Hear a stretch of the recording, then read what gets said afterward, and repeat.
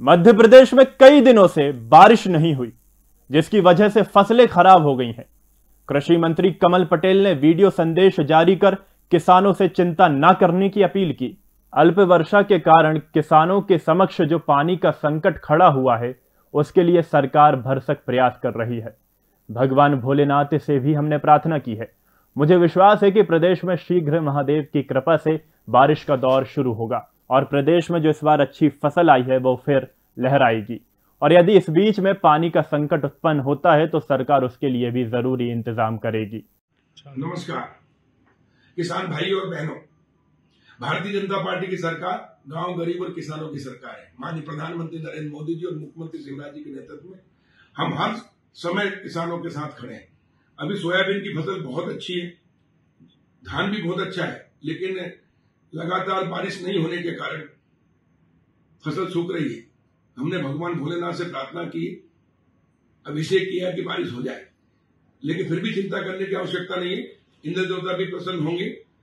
और दूसरा, हमने तवारे ऐसे पानी भी छुड़वाया है। आज सात सौ क्यूसेक पानी नर्मदापुरम के लिए धान के लिए छोड़ा गया है। आवश्यकता पड़ेगी तो माननीय मुख्यमंत्री जी से चर्चा करके संपूर्ण ज़िले के लिए भी पानी छुड़वाएँगे।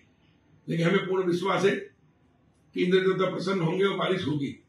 और जो भी नुकसान हुआ है प्रदेश में किसानों का, उनका सर्वे का हमने आदेश दे दिया माननीय मुख्यमंत्री जी के निर्देश पर।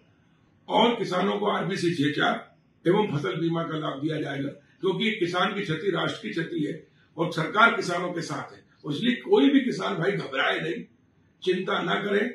आपकी एक एक दाने की क्षति की पूर्ति हम करेंगे। ये हम विश्वास दिला रहे हैं। माननीय प्रधानमंत्री नरेंद्र मोदी जी मुख्यमंत्री शिवराज जी के नेतृत्व में कृषि मंत्री के नाते पूरे विश्वास के साथ कह रहा हूँ कि ऐसे संकट के समय सरकार आपके साथ है और आपको क्षति सरकार की क्षति मानते हुए हम सरकार पूरी क्षति की पूर्ति करेगी। आरबीसी चेचारो फ़सल बीमा योजना से। Rabindranath Tagore University Bhopal, only private university in MP to be NIRF ranked for five consecutive years. जहाँ है 600 से ज़्यादा company tie-ups for placements, Atal Incubation Center for nurturing startups, Industry Academia collaboration for exposure of real industry world, 20 centres of excellence for research साथ ही global festival विश्व रंग में शामिल होने का अवसर देता है Rabindranath Tagore university unlocking potential.